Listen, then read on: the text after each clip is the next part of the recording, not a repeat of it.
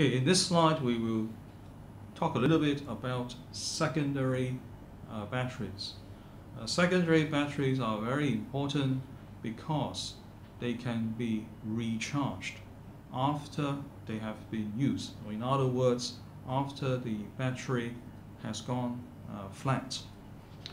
And uh, what we do after we fully discharge a secondary battery is that we can return the secondary battery to the original charge state by simply passing a current in the opposite direction to the charging current.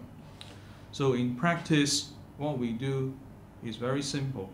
We just connect the negative terminal of an external voltage source, and this could be in the form of a power supply, to the anode, the negative electrode of the secondary battery. And we also connect the positive terminal of the external voltage source to the cathode of the secondary uh, battery. Uh, the secondary batteries are, are very useful because they are what we call energy, electrical energy storage or EES devices, electrical energy storage devices. And the older term for these devices is the accumulator. so one very simple example, uh, we can see at the uh, bottom of the page here, are the uh, lead acid batteries, which we use in the motor car.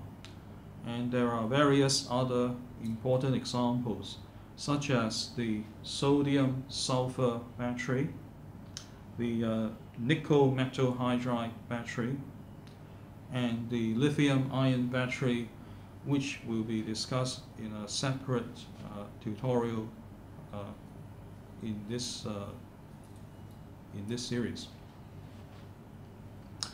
The secondary batteries uh, have several characteristics and you can see that uh, they basically have a good uh, power density. Their discharge curve is relatively flat and they can also operate at uh, low temperatures. This slide just shows us uh, why uh, secondary batteries are, are vital. The lead acid battery, which is a type of secondary battery, provides all the onboard power and also the power to start up the internal combustion engine in both the private vehicle and in these uh, diesel-driven uh, trucks and lorries.